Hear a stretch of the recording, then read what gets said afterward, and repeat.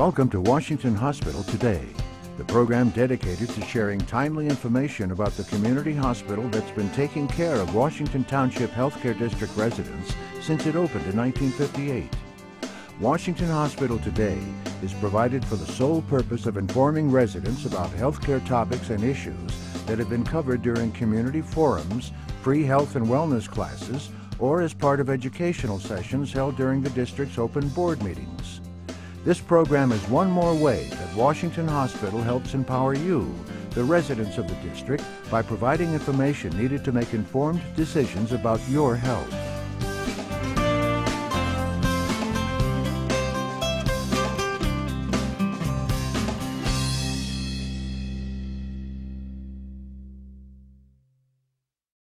Today's presenter is Dr. Seema Sehgal. Dr. Sehgal is board certified with the American Board of Psychiatry and Neurology. She earned her medical degree at the Armed Forces Medical College in Pune, India, before coming to the United States for her internship and psychiatric residency at the California Pacific Medical Center in San Francisco. Dr. Sehgal served the Fremont community for 14 years as a staff psychiatrist for the Alameda County Behavioral Services Department and the Alameda County Crisis Response Program. The experience in treating patients from widely diverse cultural and ethnic backgrounds provides Dr. Sehgal with a unique perspective and sensitivity for the influence of culture on the varied presentations of psychiatric illness in our community. Thank you so much for coming out on this very dreary evening for this talk. And it just sort of tells me how much interest this topic has generated. And when I was first asked to give a talk on so general a topic, it was really hard to wrap my arms around what people really wanted to hear. These are some of the broad areas that I'm hoping to cover today. Just defining what mental health is, because we have to know what mental health is in order to determine that there is illness present. The burden of mental illness, factors, causes, myths, and part of myths will be addressing the stigma of mental illness. Suicide, big issue, tips on communicating with people with mental illness. What do you do when you know someone or someone comes to you and says, and this happens, you know, among children a lot, where uh, they'll say, you know, my best friend came to me and uh, I know they're suffering, but I don't know what to do about it. So how do you handle, deal with things like that? Tips on communicating, resources. This is a big one. In the handout, you have almost my last about six or seven slides on what to do the question I get a lot, and I would say most of the time is, people say, you know, we don't know where to go for help. And, uh, you know, talking about the medical question that came up, there are a lot of resources even within our community which people aren't aware of. And I'm hoping that by the end of the talk, you at least go away with feeling empowered about where to turn to. You may not know what to do, but certainly if you can be pointed in the direction of people who can tell you what to do, I think that's great. What is mental health? Mental health includes our emotional, psychological, and social well-being. In other words, how we think, how we feel, and how we act. And the three are closely interconnected. And I tell this to my patients all the time, be careful how you think because you do feel what you think. And so think about that as we go forward in our talk. Our mental health determines how we handle stress, relate to others, and make choices. And so when there is an interruption in the flow of this, we end up manifesting symptoms. And oftentimes, a lot of our mental health symptoms are really our subconscious, our inner sort of workings telling us something is not right. Hey, sit up, take notice. I'm not feeling well. So you have to take notice. If you ignore, it just becomes worse and worse, and it becomes a bigger problem to solve. Burden of mental illness. One in five American adult, and I say American adult because in this country, almost the prevalence of mental illness is about 25 to 26 percent.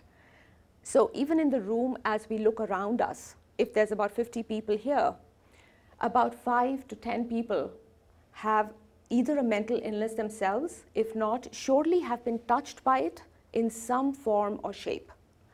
And the burden of mental illness in this country is higher than the next 14 industrialized nations after us.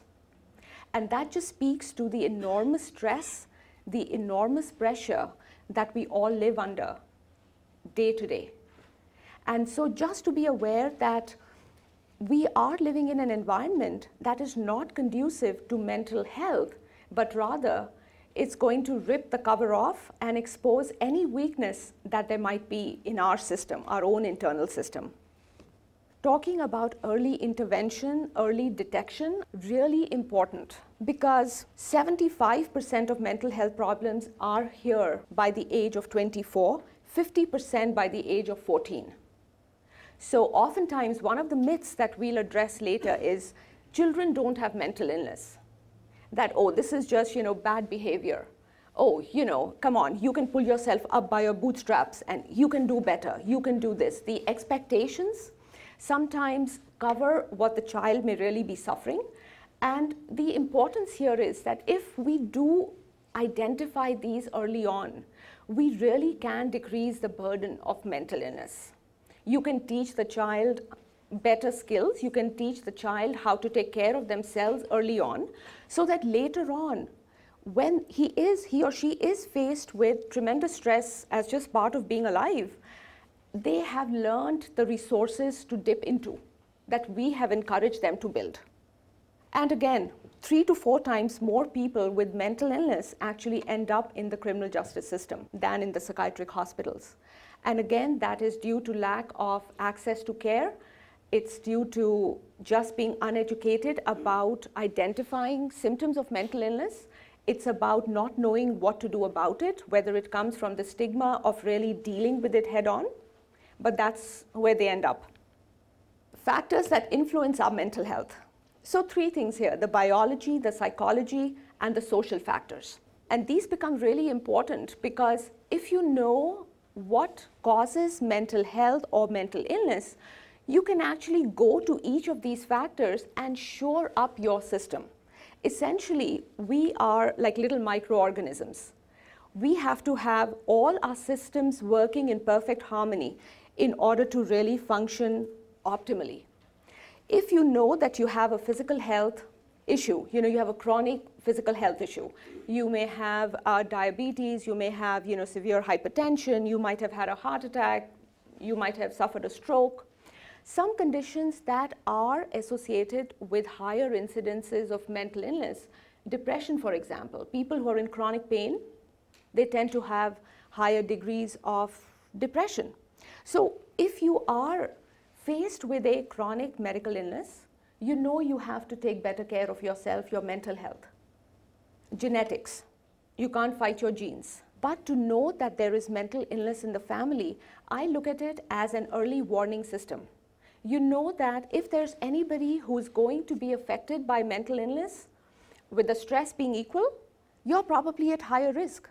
Because in two generations looking up, my mother, my grandmother had depression. Okay, so what are the chances I'm going to get it? Pretty high. So you have to invest even more in your well-being, in your mental health. You know, look at it as having an account, your retirement account. You cannot draw on it unless you've invested in it. And so life is going to throw us curveballs. That's a given. So why would we not spend as much time as we can investing in this pot of gold? Because we are going to dip into it at some point. So build it up. No time in taking care of yourselves is ever wasted. Alcohol, drugs, high correlation between drugs and alcohol in certain mental illnesses and even unmasking certain mental illnesses. You know, marijuana is a big discussion, sort of discussive point these days. I have this conversation in my office frequently where people will say, oh, marijuana, you know, recreational, uh, legal, it's all good, I'm, I'm going to be fine. And I tell them, look, there are studies that show that if you are at risk for developing mental illness, especially things like schizophrenia, it can accelerate the appearance of the symptoms by seven years. So yes, for someone who's not at high risk, for someone who really, you know, is not going to develop any issues on marijuana, go for it. But you don't know where the dice is going to stop. And if you've put yourself at risk for developing a chronic severe mental illness, well, I don't know about your choices, right? So the psychology. Now, this is what we bring to the table. You know, what happens to you, your medical illnesses, your genetics, well, that's just how it is. The psychology, you know, your attitudes, your beliefs, your coping mechanisms, how you really take in what is happening to you, how you break it down, how you assimilate it, how you fold it into your life, how people around you approach what is happening, how they support you. All of that impacts the outcome of the mental illness. Your stress management ability. I don't know how many people here really invest or think about factors or ways that they can de stress. And this is a question I ask people routinely in my first contact with my patients. What do you do for fun? And it really saddens me when there's a pause. It's like people are thinking about it for the first time. It's like fun, huh? And so I tell them, look, you know, you are the one person in the world who knows you best of all. If you know what you need to feel good, to feel better about yourself, why would you not go out and do just that? And you know, they're so focused on relationships with their husbands or family or kids and parents and peers and sort of, you know, stressed about this, that, and the other. And I tell them, look, the primary relationship you need to have is with yourself. Because if you have a good relationship with yourself, you're going to have a great relationship with everyone else. But if you are going to be sort of an unfinished product, you are going to go looking for other people to make you feel complete. And that's sort of compromise right there. You do not want to go into a relationship feeling not whole. So invest in yourselves. Go have fun. Do what you really enjoy. Go and do what makes you feel good. Social factors. Now, here again, our family environment, big influence on how we learn to deal with stress, how it was modeled at home. Did our parents communicate their emotions with us? What happened when we were sad? Were they able to tolerate our sadness? What happened when we were angry? Did they tolerate our anger? Did we talk about it? Were we given different ways to handle our emotions? Were, were we even taught a vocabulary for our emotions? And this happens a lot you know, with just sort of the gender differences. Women, you know, they tend to talk more about their emotions. And I think evolutionarily, just, you know, women were more sort of the, the nurturers at home and the men being more the hunter gatherers. They had this, you know, predetermined task. They would go, they would hunt, they would bring it home. The women were home all day. They would chit chat, they would talk about things. And as a result of that, their neurochemistry is a little more complex and so a lot more can go wrong. So yes, they experience certain mental health issues like depression much more than men do. And there are so many factors for that. But when you look at suicide rates, four times higher in men. Because when mental illness touches them, they are so ill equipped to talk about it. And back again to cultural influences and the stigma, and you know, men are just supposed to be a certain way and not talk. So when you all go home today and if there is a boy in your life, a brother, a son, a father, have a conversation that has to do with emotions and feelings. I feel, I think, I want. So it all starts at home when the kids are little. Life experiences, trauma, abuse, neglect, you know, there is so much anxiety in our worlds. Everybody we know, every second person we speak to, you know, either at work, at home, friendships, I'm so stressed out. I'm so anxious. And a lot of times, um, I see patients who have grown up in uh, really traumatic households. You know, lot of abuse, lot of chaos, lot of movement. And so with anxiety, what happens is the fight or flight response that we normally reserve for when there is real danger. They have grown up in an environment in which their fight or flight response is always in action. The brain somehow thinks that there's constant danger at every turn. And so as they go through life, they never quite have the luxury of being relaxed or calm or feeling that, okay, there is no danger lurking anywhere. I can just let my guard down, I can really enjoy. And so teaching them that in certain therapies we'll talk about becomes important. It's not how you respond is really, I think, an end product of where you're coming from, but it's not the end of the road. You can certainly learn new techniques and new strategies to cope and handle things better. Causes of mental illness. Family history increases the chances of having certain illnesses. Chemical imbalances of neurotransmitters. Again, there's a complex interplay of different neurotransmitters in our brain. Our happy chemicals, our not so happy chemicals, anxiety chemicals. And so, you know, when they're all in perfect harmony, it's a symphony, it's beautiful. And when one thing is out of whack, well, it really doesn't sound great. And so, again, you know, be in tune with who you are on the inside, how you feel at any given point of time in the day. Another exercise I give my patients all the time, you know, just randomly at three o'clock in the afternoon, just stop what you're doing, just take a minute, check in with yourself. How am I feeling? Great exercise because it makes you focus inwardly. And if you're not feeling good, write it down. If you're feeling great, write it down. Check again, maybe 7 o'clock. How am I doing? And if you're not feeling well, take a minute to say, hmm, I wonder where the discomfort is coming from. If you have to change something, you have to first be aware, be aware that there is something wrong. So, you know, people will often ask me, how do I change this? What do I do about it? And the pressure of needing to change something right away. And I tell them, you know, it's, it's a very gradual process. It all starts with awareness. You have to first be aware of things that are not right. And then the change will happen. Okay, drug use, stressful life events. We spoke about that.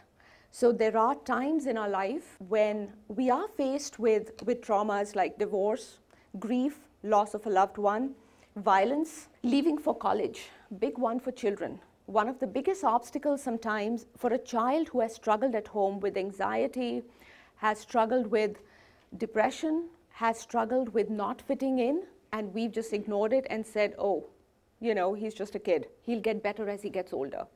He goes to college and suddenly that protective framework of the family falls away and they're exposed to the stress and they just can't handle it. And you have the first manifestations of a lot of serious illnesses in those first two years of college. So if there are families here who have college-bound kids, they need some extra love and care. That first two years, you've got to be there in step with them. Drug use, as we spoke, definitely increases the chances of you manifesting symptoms earlier. And there are certain disorders, the BAD here being bad, it is a bad thing, it's bipolar affective disorder. ADHD, generalized anxiety, OCD, linked with chronic drug use, and it's sort of a circular motion here. People will sometimes not be feeling good, they'll use drugs to feel better, but the drug use will make the symptoms worse, and so it becomes sort of a connected link myths about mental illness. I'm sure all of them at some point have crossed all your minds. And I'm just so happy to be able to give this talk because, you know, this is just such a passion for me. I see so many people suffer for so long. And when they come in, they get the treatment, which is fairly simple usually, and they feel so much better and they go back saying, gosh, why didn't I do this better? And a lot of times it comes from not recognizing the symptoms. You know, people who have bipolar illness, for example, on an average, it's almost about seven years before they get treated. They're either misdiagnosed, they haven't sought treatment, they haven't been compliant with the treatment, and so it's, it's sort of their life is just a train wreck.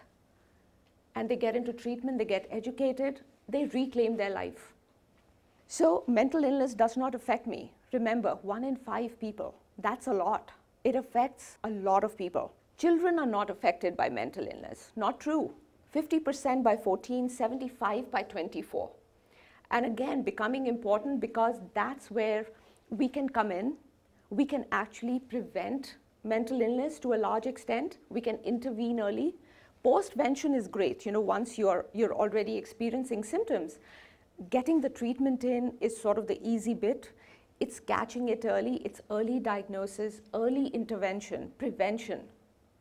And again, a lot of them can, can happen by just learning good mental hygiene skills. Mentally ill people are violent and unpredictable. This is the commonest one, I think. You know, people all think this is true, but they are 10 times more liable to be abused and be victims of crime than actually be violent. A lot of times, you know, we all see homeless people who are muttering to themselves or preoccupied with their own thoughts, and we sort of cross the road over to the other side. We sort of, you know, cut a wide sort of swath there. And again, part of it has to do with our own interpretation, our own belief system about mental illness.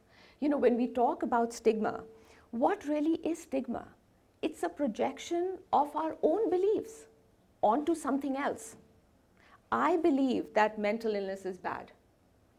And then I put it out there and it comes back to me and you say, aha, I knew it all along. Mental illness is bad. And in some ways, it's sort of a learned cultural belief as well. It's how mental illness is thought of, spoken about in families. You know, we all have sort of uncles or cousins who in the past, you know, were just sort of a little strange. And they were just sort of tucked away. And nobody wanted to sort of have them, you know, join in family functions or really be seen or heard. It was kept as sort of the shameful secret that there was mental illness in the family. And so, yes, I can understand that happening in the 1800s. But today, you know, we've made so much advance in so many different ways. But when it comes to our thinking, I don't think we are that advanced at all. And again, I say take it back to the children.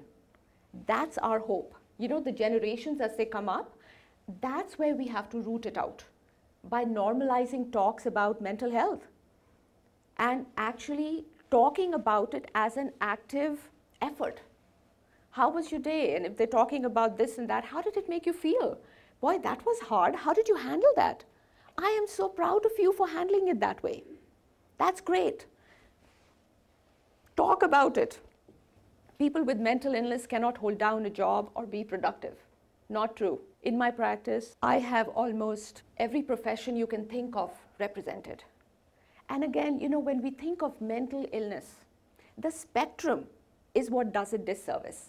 You know, there are people who could just merely be anxious and have a severe anxiety disorder who are also clubbed as having a mental illness versus somebody who has a chronic psychotic illness like schizophrenia who also has mental illness. So when somebody who has, say, a panic disorder is in a room with somebody with severe chronic schizophrenia, they look and say, I'm not like him. I don't have that. Oh, I'm, I'm okay. And you quietly sort of leave and you don't want to be connected, linked, associated with that. Whereas, you know, in medical illnesses, if you have hypertension, there's another guy who has hypertension.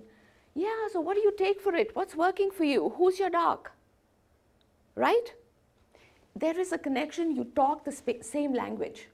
Mental illness, it's vast. What is mental illness for one is just a bad day for someone else.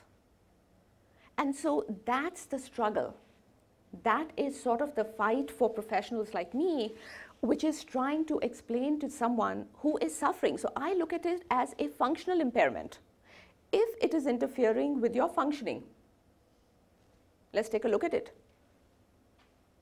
Forget the labels. If it's interfering, if you think that your relationships could be better, if you feel you could be more productive at work, if you feel you really didn't have to come home and have three shots of vodka every night to just get through the day, Let's talk about it, right?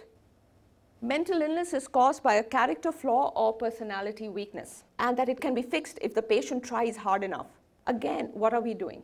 We're perpetuating the stigma that this is not really a medical illness. If you just tried hard enough, just recently in the last week, I saw a patient who, again, a sort of a type A couple, not even one of the couple was type A, it was a type A couple.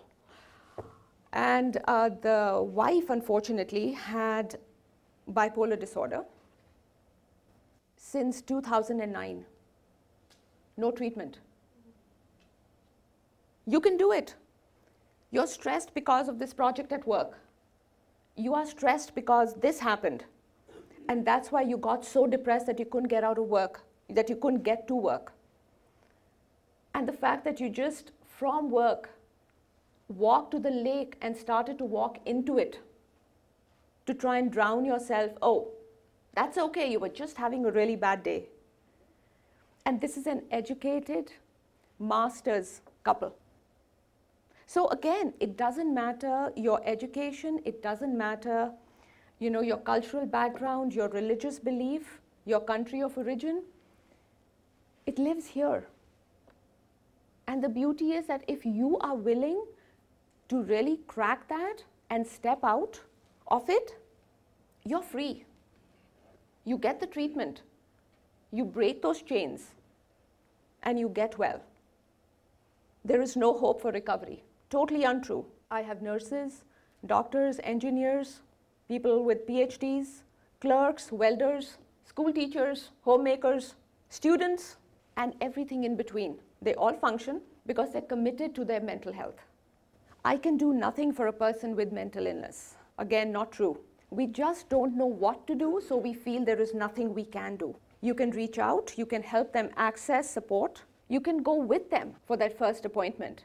That's what I told a bunch of students I was talking to at one of the local high schools the other day. There was a school counselor, so I said, Why don't you use the school counselor? Go talk to the school counselor. Oh, you know, the children will talk, there's so much peer pressure, they'll know that we went and spoke to the counselor. I said, why don't three of you go together? They don't know who's going for the real help, right? And they're like, oh, yeah, good idea. But again, nobody wants to be singled out. Fine, go in a group, but go. Learning facts about what they are suffering from. And a lot of times, I think, you know, our specialty gets sort of a real disservice because a lot of our mental health illnesses or the diagnoses are used in just day to day usage. Oh, I'm so depressed. No, you're not really depressed. Depression is a major illness, which is devastating in its bearing, in its consequence, in its impact. Oh, I'm so stressed. I'm so anxious. Yeah, you are, but to have somebody who has a panic disorder it is debilitating. And so, again, when people talk about these words just willy nilly, I think the people who are actually suffering get sort of short shrifted. Prevention doesn't work, like we talked. If you know the risk factors, if you know some of the things that influence mental health, you're actually able to go in and change the course, I think, of certain mental illnesses. People are faking it to get attention. She's not really ill. And again, there is the cultural piece here becomes really important. There are certain cultures, you know, coming from India, Southeast Asian countries where mental health is not sort of spoken about as freely as it is here. The manifestations are different. They won't come out and say, you know, I feel so depressed, I'm not motivated, I can't get to work. They'll say, oh, I have a headache, I can't get out of bed. I have body aches and pains. I've lost my appetite oh, I just don't feel right. So you have to be clued into what the patient's cultural context is, and again, back to the vocabulary, back to the knowledge, and how they express psychic discomfort. And so the art of listening.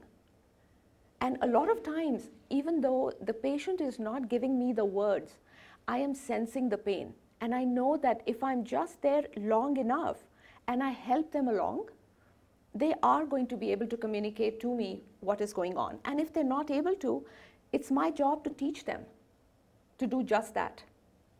Psychiatric disorders are not real medical issues. I'm a fake doctor. And again, we have history. You know, psychiatric illnesses, if you know, you read sort of the, the history of psychiatry and mental illness, there really were no treatments for it. No medical treatments for it till the 1950s. No medications at all. No treatments. And so if you had depression or a psychotic illness in the 1800s, people just looked at you and they didn't know what was happening and what to do with you. And all of us get scared when we are placed in a situation where we don't understand.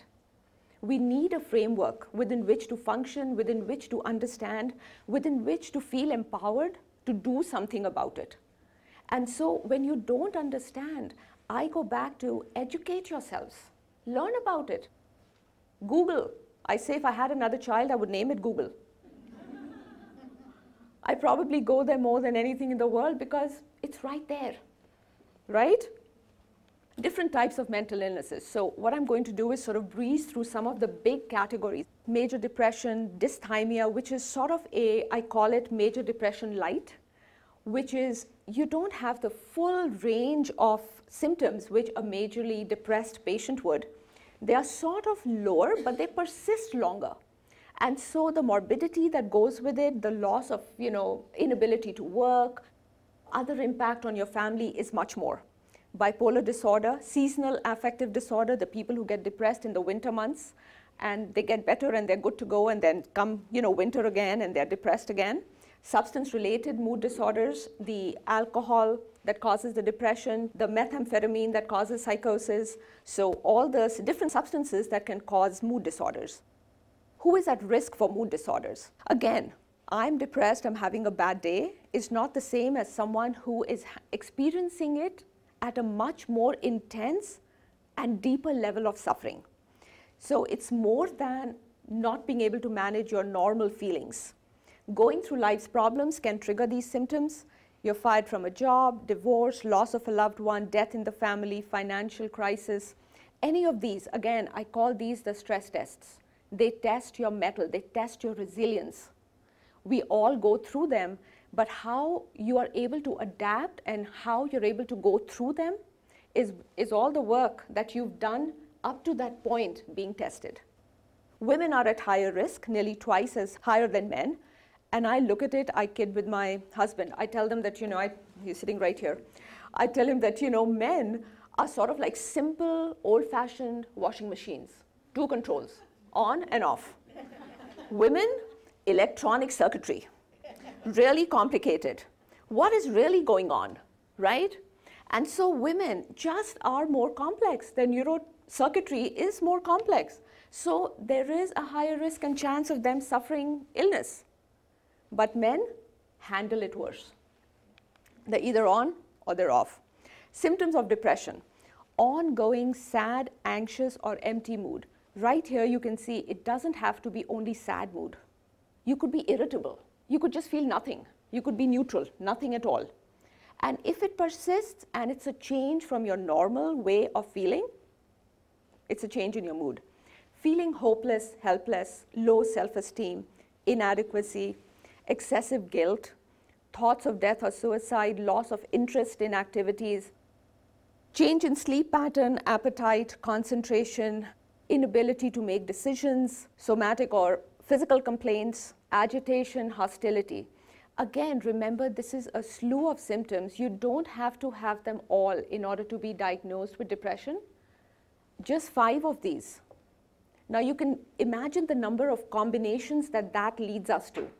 So even if there are two people who have depression sitting here, they experience it completely different. I may see a week's worth of depressed patients. No two are alike. And why is that? Because they have different symptoms of depression, they have different coping skills, they have different cultural beliefs, they have a different attitude about mental health, they have a readiness to listen and go with the suggestions that are given, they have different personalities, and all of this together results in how well they do in terms of outcome. Diagnosis of major depressive disorder. You have to have five of the criteria most of the day, every day for two weeks. So this is not something that you feel really terrible today and tomorrow's better and then you're fine. That is not depression. Major depression is um, a very, very debilitating, crippling disorder.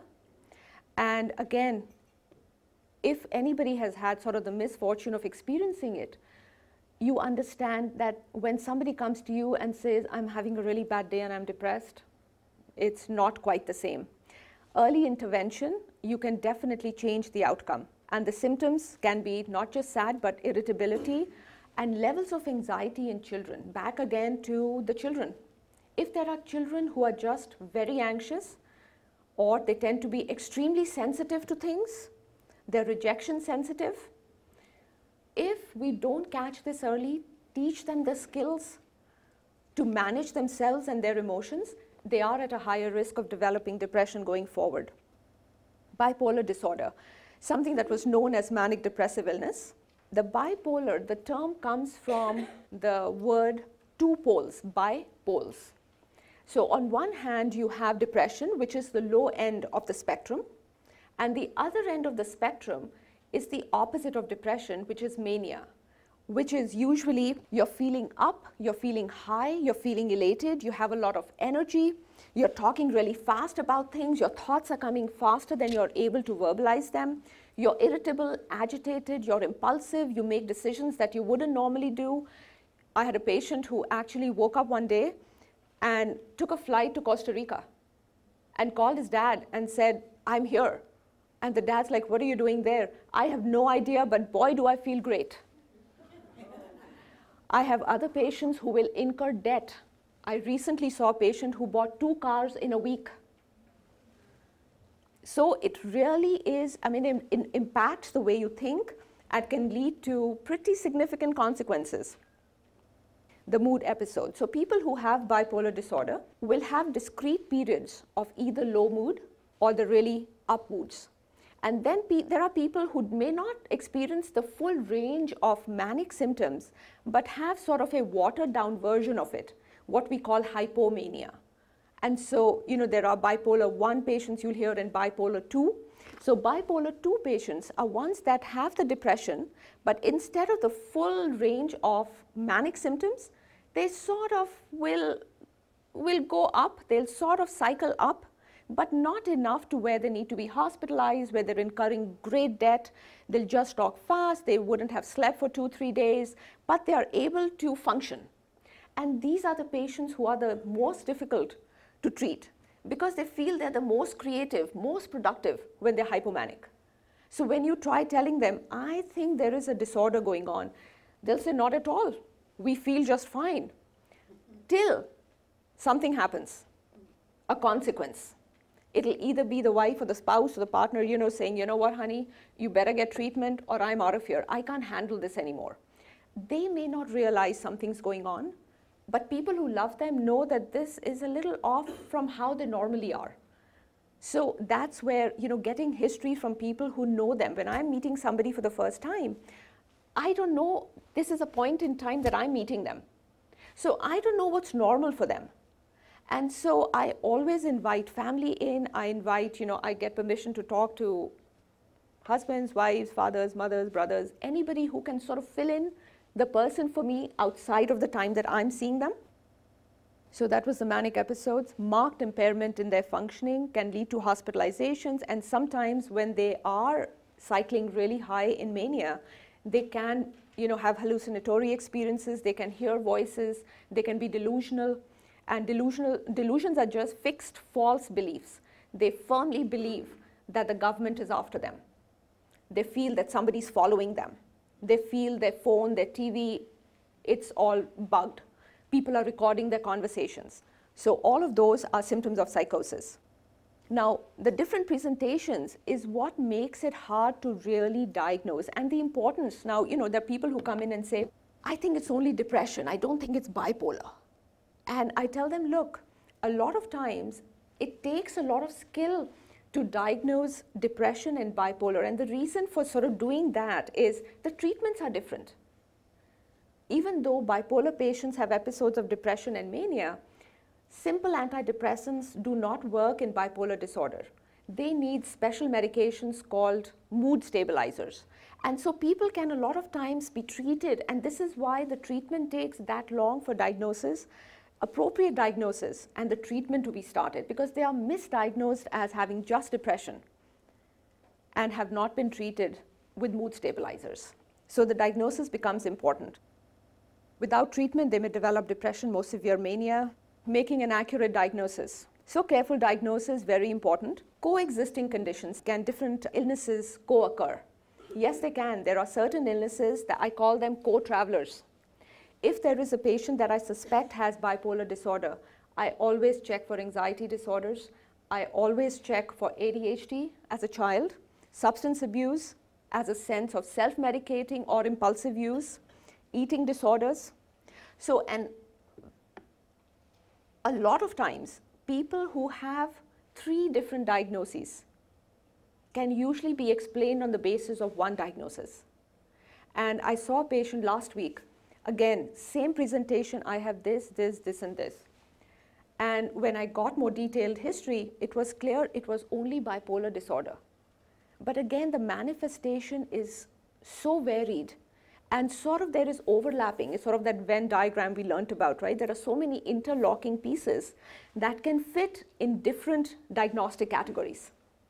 So it makes it important to really tease out and be sure of what you're dealing with.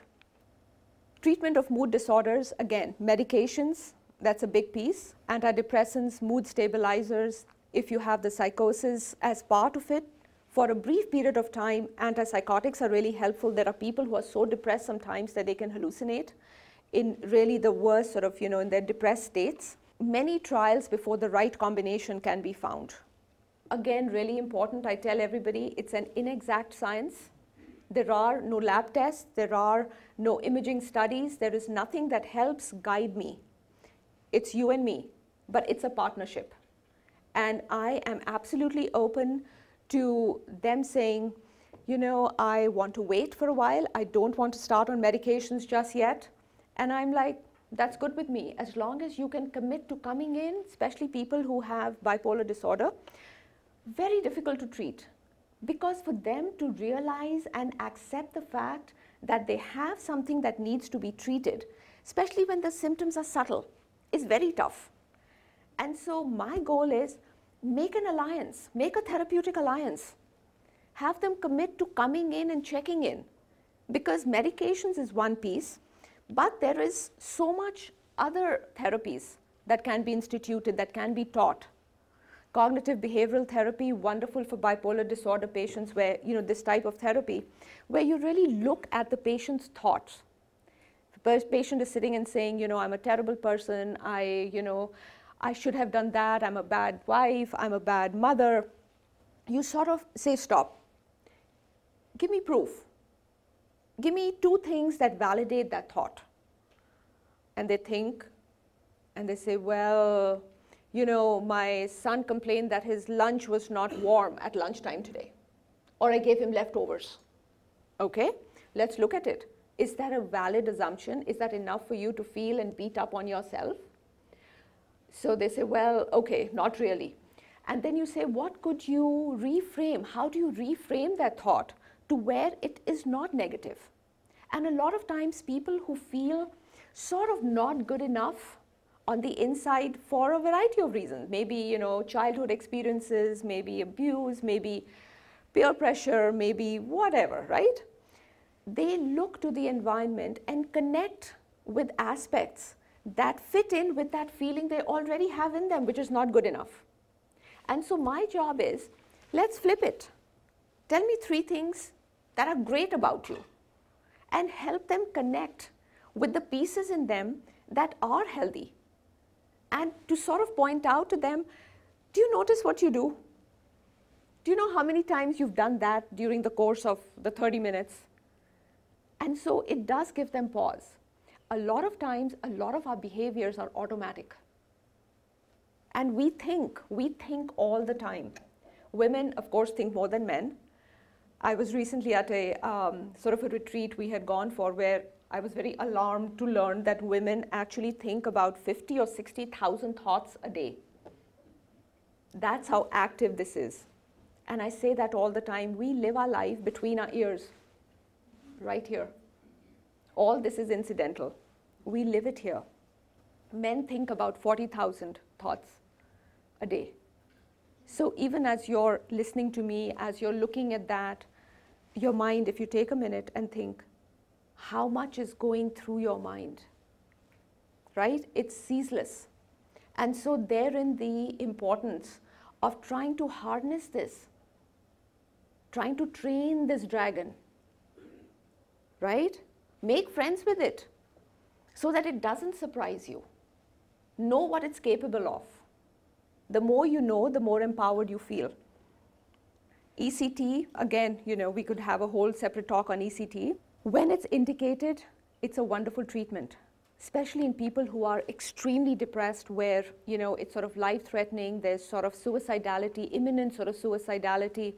In geriatric, in, you know, older people who are very depressed, who can't tolerate for a variety of medical reasons, treatments, ECT is an effective tool, safe, the side effects really the memory loss, which now you know they, they do do it in very controlled uh, uh, circumstances, good treatment, TMS, transcranial magnetic stimulation, or deep brain stimulation, the DBS, new uh, treatments and therapies available at big centers for depression. Their provenance questionable, but again, just to you know put it out there that there are advances being made, there is always work being done. Anxiety disorders commonest psychiatric illness among adults and children. Here you go again 25% of us affected by this every year. Women, twice as likely as men. 40 million adults suffering from an anxiety disorder.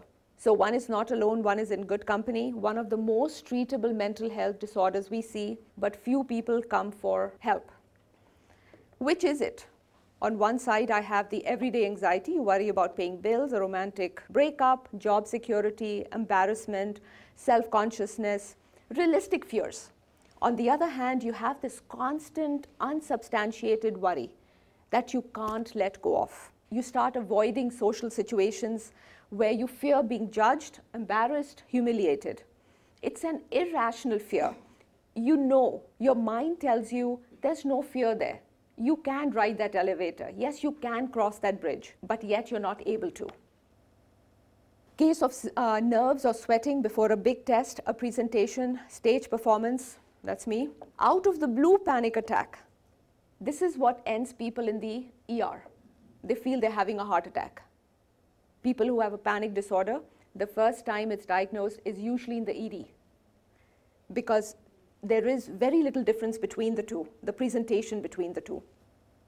The anxiety and depression after suffering a traumatic event, common, normal, has a certain amount of time that we give for recovery, usually gets better. But here, the recurring nightmares, flashbacks, emotional numbing, essentially PTSD, where you know the uh, the extent of the expression of the symptoms is way outside the normal the types of anxiety disorders, social anxiety, generalized panic disorders, phobias, OCD, post-traumatic stress. Now, again, the causes of anxiety disorders, not a result of personal weakness, character flaw, poor upbringing. How many times I'll have either patients come and say, you know, I had wonderful parents. They had nothing to do with this.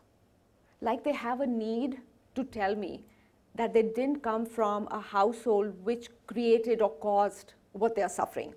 And similarly, I'll have parents who'll try to justify and say, we gave them everything we could. We were good parents. And I tell them all the time, you know, there is, I don't think there's any parent who comes into this world with the intent of really messing up a child's life. There probably are there, but, you know, rare.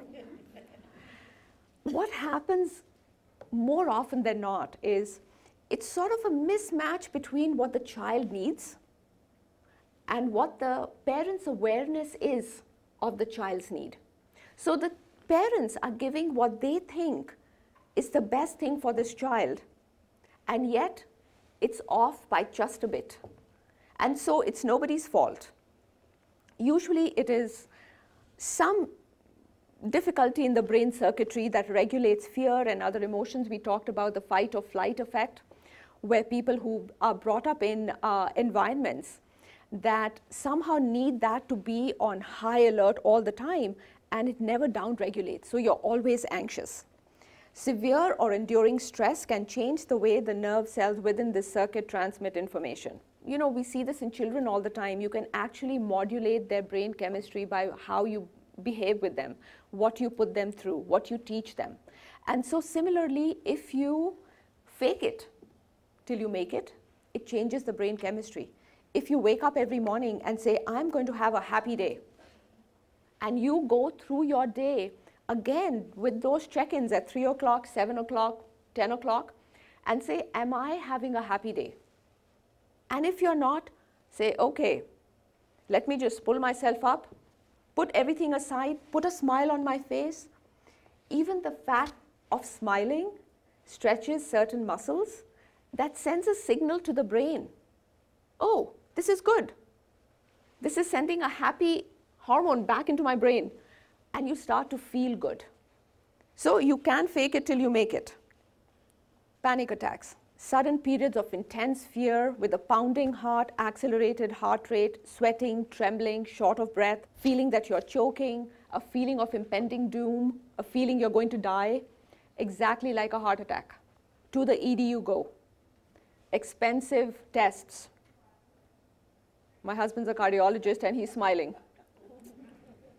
Such an overlap, right, between what is just severe anxiety and panic and a heart attack.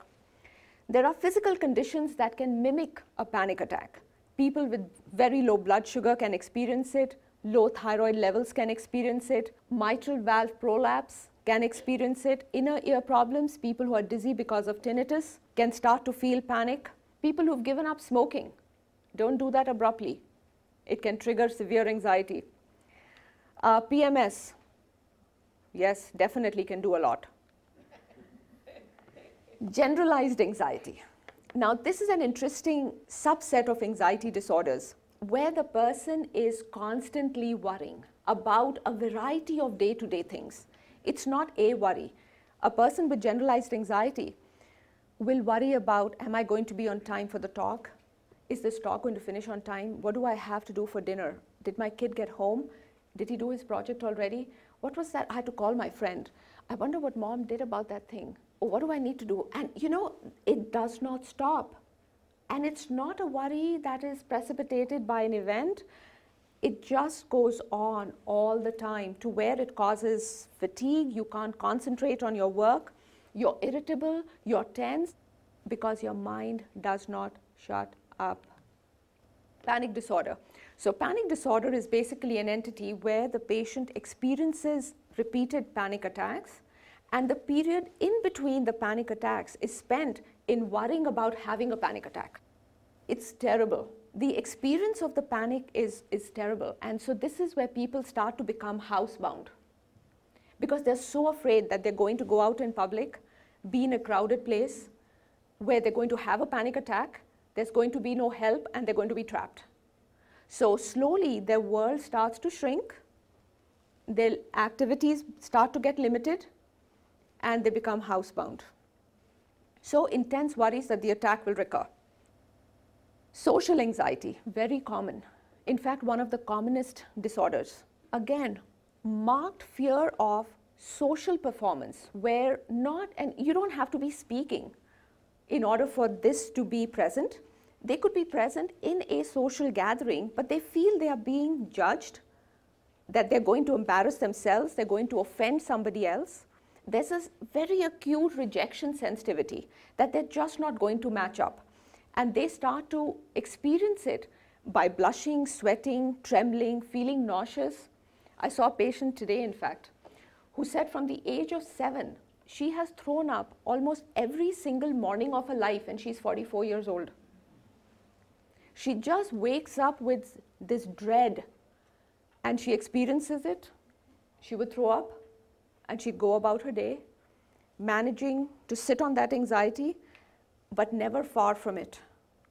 Fear of being humiliated, rejected, OCD Again, it's sort of now separating out in our latest classification of mental health disorders, but it's sort of subsumed under the umbrella of anxiety disorders, where people with OCD can, uh, you know, start out with just being high-strung, anxious people, and people you can imagine, think about it yourself. If you're anxious, the way you soothe yourself, much like a baby is soothed by just the mother picking the baby up, cooing to it repeatedly, it helps soothe.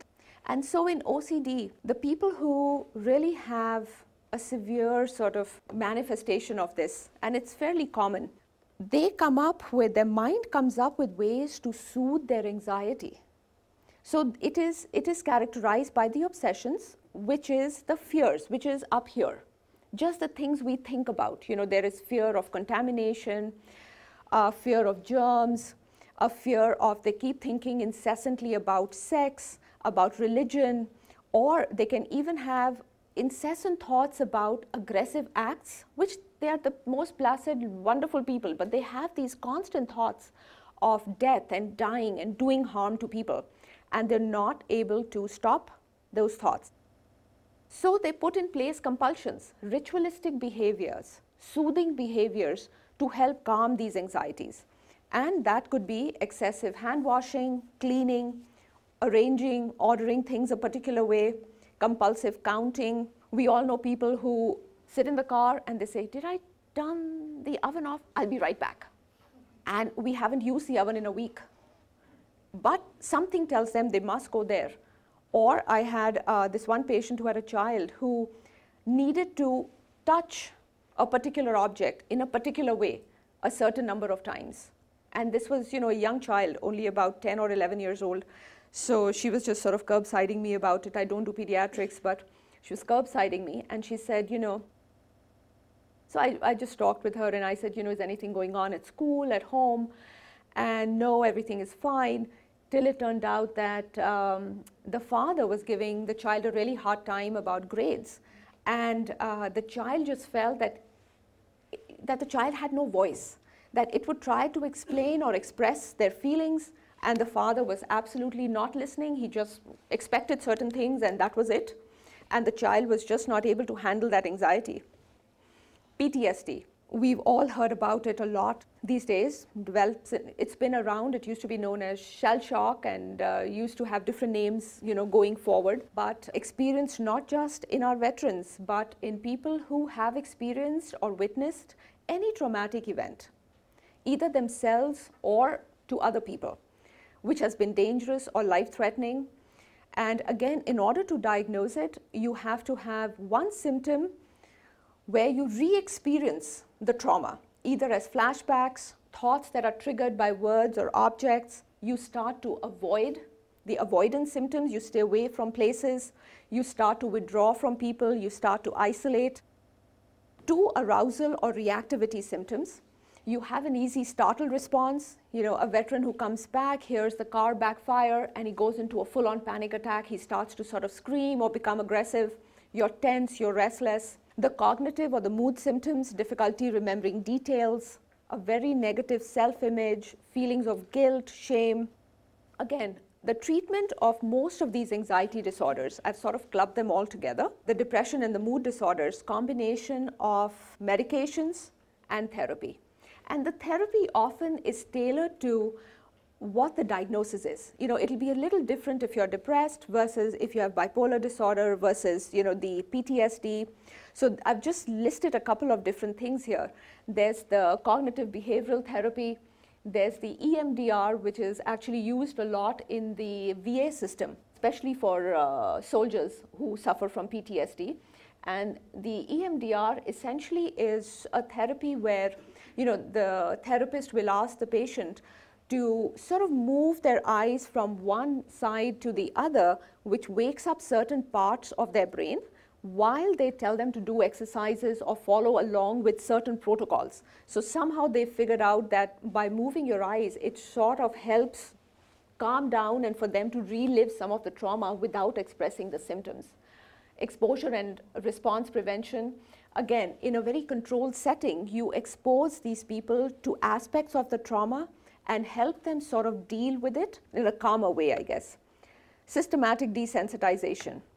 You overcome the fears by gradually exposing them to things they are afraid of. So, for example, you have patients who are afraid of riding in the bus, public transportation. So, it could start with something as simple as showing them an image of a bus. And in people who really have that specific phobia, it can trigger a panic attack. Then you go to, well, let's just go out and watch a bus go by. And so you gradually increase the stimulus to where they are able to go on the bus. Support groups, group therapy, very, very important. I can't overemphasize the effect of group therapy. You know, a lot of times people will come in and feel they are the only ones suffering that particular disorder. And when you're sitting in a group where everyone has suffered some elements of what you're going through, it's really powerful in sort of helping you open up, in helping normalize what you thought was this terrible time of your life. And you know, I tell people it's sort of walking down a path with people who are ahead of you on that path, people who are trying to catch up. You can teach as you learn. So, group therapy, very powerful. All right, shifting gears. Psychotic disorders, now this is where I think, you know, a lot of, when we think of mental illness, this is what comes to mind. You know, people who have a chronic, severe mental illness, and in there, schizophrenia, schizoaffective disorders are right there. So they're mental disorders that cause abnormal thinking and perception of reality. So there is a thought disorder component and there is the perceptual difficulty where you know you actually hear things and there's nobody around or you are seeing things. There are people who have tactile which is touch. They actually feel things on their skin and there's nothing to account for it. So hallucinations can be really in any sort of sensory system.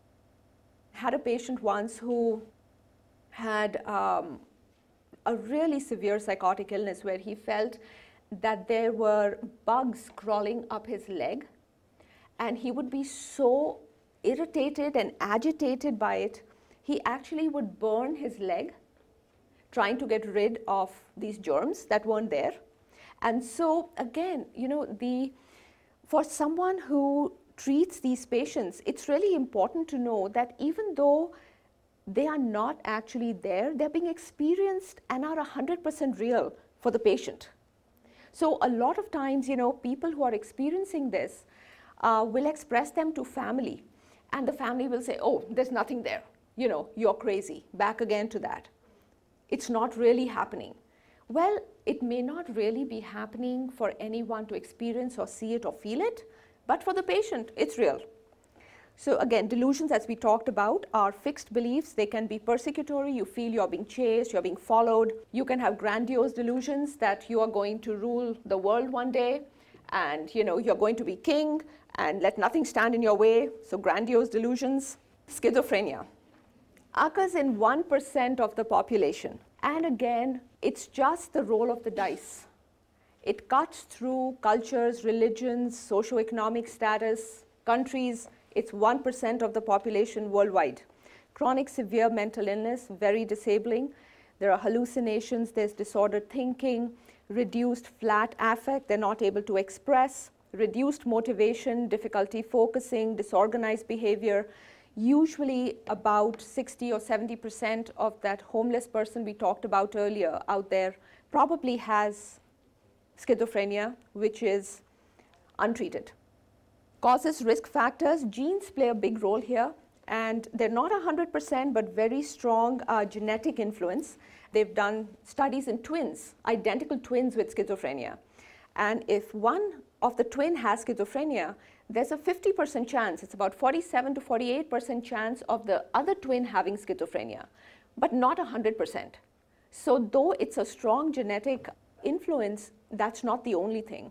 The environment, it's the interaction between the genes and the environment. It's sort of like dominoes lined up and come a stress and boom, it sort of, you know, sets in motion a certain set of responses and you express the disease. Different uh, neurotransmitters, serotonin, dopamine, glutamate, some of the chemicals, and it helps sort of direct treatment for this. It's confusing, it's terrifying, I recently saw a patient who was a software engineer who just moved from LA and out of the blue, he suddenly started to hear voices out of the blue at work, nothing happening. And he first couldn't make sense of it. He just kept thinking there's got to be a reason. And he kept checking his apartment. He kept sort of looking to see where is he hearing these voices from. So insight is still present. You can experience that there is something wrong, but you don't know what. And you tried, and you've never experienced it before. So you try to normalize it because your mind cannot expand yet to include it being a mental illness.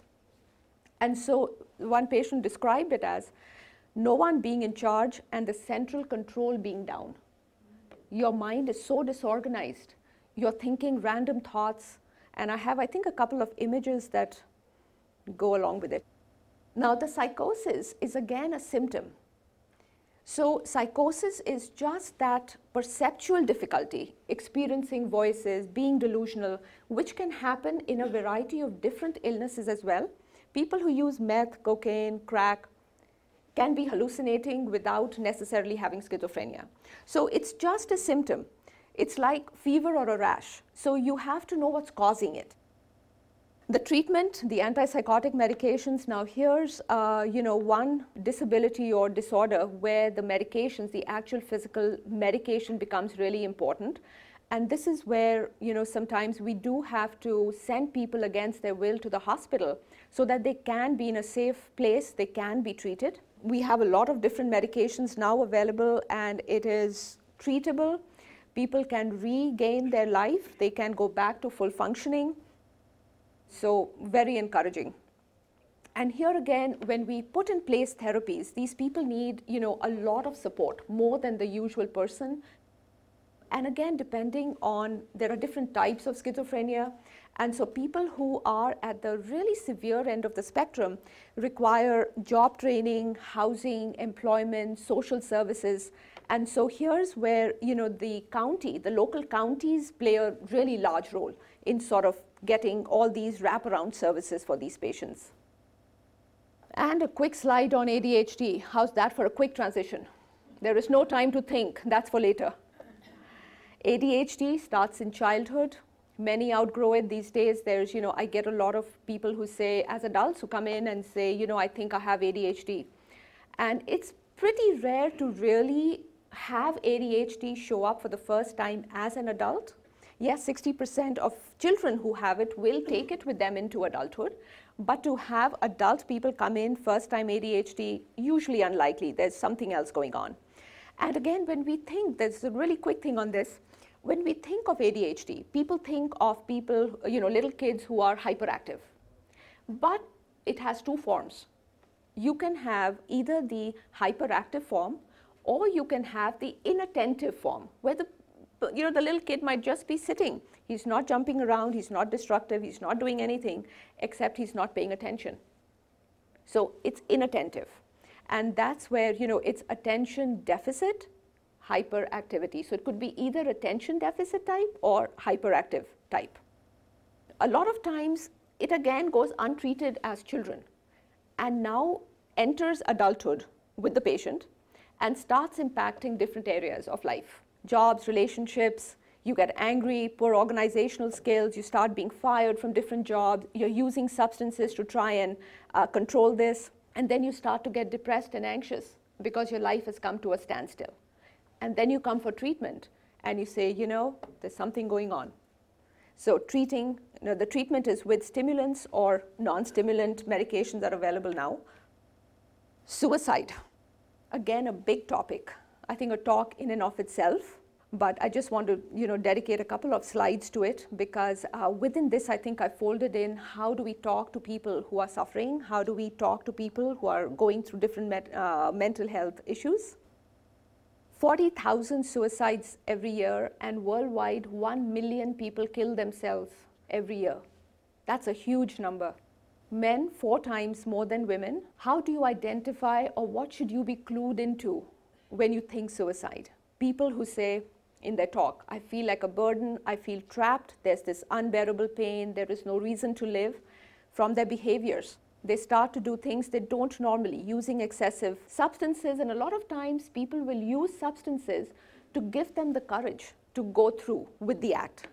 Online searches, reckless behavior, withdrawal, saying goodbye giving away possessions. Their mood changes depression, irritability, rage, anxiety, humiliation, and you just again start withdrawing. Now, there are you know, chronic health conditions, substance abuse, chronic pain that do cause an increase in these feelings, and so to watch out for them is important. In schizophrenia, also, the time that these patients are at highest risk for attempting suicide is when they have just been stabilized on medications because they are then able to see what a devastating illness they have and what their life and the potential of it has in store for them. And that sends them into depression. And the more educated you are, and the more you have to deal with its impact, the higher risk you are. And so we have to sort of keep that in mind.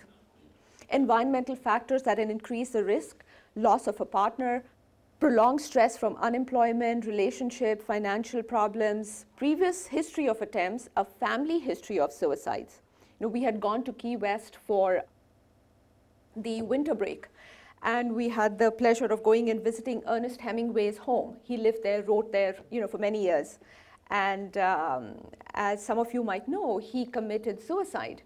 And not just him, but one of his parents committed suicide, and I think it was his sister who committed suicide as well.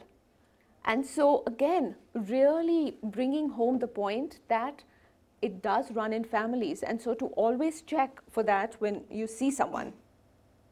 Right up there, suicide prevention hotline, anywhere in the country, 24 hours, 273 TALK. So, a number good to have handy, to give away, to use. Speak up if you notice something. Offer an opportunity for them to talk to you you may not know what to do, but the fact that you're there, you're able to tolerate their feelings, big one. Be yourself, be sympathetic, offer hope, state how much it must be hurting. People who attempt or commit suicide do it because the pain they feel is unbearable. It's not because they are sick of living, no, they want to live evolution has made it such that we have billions of years of wanting to survive coded in our DNA. We want to live. But sometimes the pain of what you're going through is so intense that death just seems to be the answer. Don't argue, don't act shocked, or promise confidentiality, especially for you know, children. Get help, speak up. This is one time you do not have to keep it confidential. Tips on communicating with mentally ill loved ones. Here's the do's. Treat with respect. The person is not the illness. You know, how often do we say, oh, I have this depressed aunt. I have this schizophrenic cousin. No. It's this wonderful person who also happens to suffer from schizophrenia. Or your lovely cousin who is going through a terrible episode of depression. So don't make the person the illness. Stay relaxed if there's a person who's getting agitated, is getting sort of riled up, you can just stay relaxed, stay calm, make eye contact, treat with respect, simplify things. They may be disorganized, they don't know what's going on, keep it simple. Watch for contradictions between verbal and non-verbal behaviors and you know just and listen to your own internal safety alarm bell. I cannot tell you how many times it has come to my aid especially when I worked for the county and I saw really the, the really severe end of the spectrum. 90% of my patients had either chronic severe schizophrenia, severe depression, severe bipolar patients, you know, who their moods sometimes are erratic and labile. And there have been multiple times where I have just had to get up and say, you know, let's pick this up next week. And I would leave my office. And that helps them because they don't know how to calm themselves. So you have to step in and set those limits and make sure they are safe, and so are you. Use humor and don't touch. You can ask, is it okay? Can I hold your hand? Is it okay if I, you know, so just put it out there. Don't be confrontational, don't blame, criticize, accuse. Don't assume that everything's going to be fine. Ask, ask questions. Don't intimidate or discipline the person something we often do, especially in communication. And you know, I, I again talk about this a lot with my patients, which is use the I word when you're talking to people. I feel this way. I feel that way. Don't say you did this or you never or you always or you. The moment you hear the word you, your defenses are up. Anything you say after that really just falls away. Don't use sarcasm and do avoid humor in difficult situations and do not be patronizing or condescending. If you don't know, say, you know, I want to help you, but I don't know how. That's more genuine. Mental hygiene. This is actually a WHO definition of mental hygiene. Developing, maintaining, promoting necessary skills to sustain good, effective, efficient mental health. The purpose is to achieve psychological resilience. The one that breaks is the one that's most rigid, right? So the more malleable you are, the more you're able to flex and adapt. Change your internal default setting, which is programmed to think a certain way. Question yourself. Identify negative coping skills, which are avoiding looking at something that may be going on, denying that it exists, excessive work to compensate and not look at certain issues, using alcohol or drug stimulants, ignoring your feelings. This will go away if I do nothing. The beast will just get stronger and is going to escape from the dungeon. Don't block or try not to do something. Focus on the replacement. And I say this all the time, you know, to people that if you have so much of negative stuff or difficult things you're trying to take care of in your life, you are not going to be, it's like a balance. You're not going to be able to get this out of the pan. What you can do is fill your life with positivity so that in the balance, this becomes easier to withstand and tolerate. So don't just focus on what you cannot do, but focus on what you can.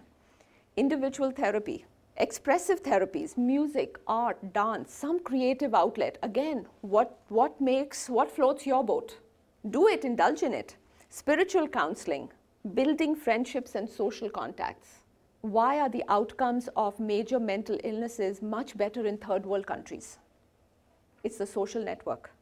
It's the social framework within which those patients do business. If the patient is not able to go to full-time work, never mind. The bar will lower to make the patient still feel productive and part of a community. Here, if you're not able to really function well all the time, 100% of the time, you can't be employed. Your family may or may not be able to take you in. You can't, you know, the downward slide is so quick. It's frightening. Humor. I think everything is lost without humor. I completely believe that. Hobbies, pets. It's wonderful. And pet therapy established. I write on a regular basis letters to patients who live in apartments that don't allow pets and I will write letters and on a medical uh, basis to allow them to have pets because it's wonderful. All right, here's the resources. All of us who live in Alameda County, it has an extensive network of resources available. And the numbers are listed there if you're in a crisis, if you just want information, their own suicidal uh, prevention hotline. Sausal Creek is is sort of a, a, psychiatric ER that you can actually, it accepts walk-ins. You can go, you, if you're out of medications and you can't access, you know, anybody for medications, you see a loved one who's suffering, needs attention, they can go to Sausal Creek. Cherry Hill is the detox center. If somebody is coming off of alcohol or different substances and it's, you know, it's like a dry dock, they'll keep you there for two days, up to three days, and then sort of plug you into wherever else you might need for ongoing care. The John George Hospital, which is the acute inpatient facility, Willow Rock is for children 12 to 17, and the younger children go to Children's Hospital. Their response team numbers, information and advocacy. We have the Family Education and Resource Center, and we have Michelle, who's here from there today. Wonderful organization for information, education, advocacy, support services, if you just don't know what's happening and you don't know what to do about it, call them up. They're wonderful. This is a patient run organization that provides education, empowerment, advocacy services in Alameda County. And this is for substance abuse treatment and referral, uh, a helpline that will help direct. NAMI, National Alliance on Mental Illness. Go on their website. Anything you ever wanted to know, and they have local chapters everywhere. So anything you want to know, informational about different illnesses, support groups, how to get involved, community programs, legal issues, it's all there. Another couple of lines, a national suicide prevention, domestic violence, crisis, sexual assault hotline.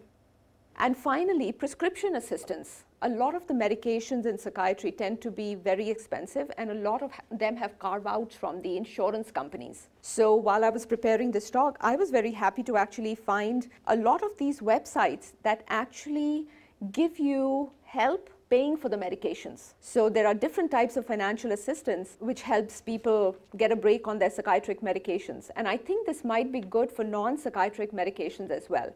So I just wanted you all to have that. And with that, I'm happy to say we've come to an end of our talk. Thank you for being such a wonderful audience.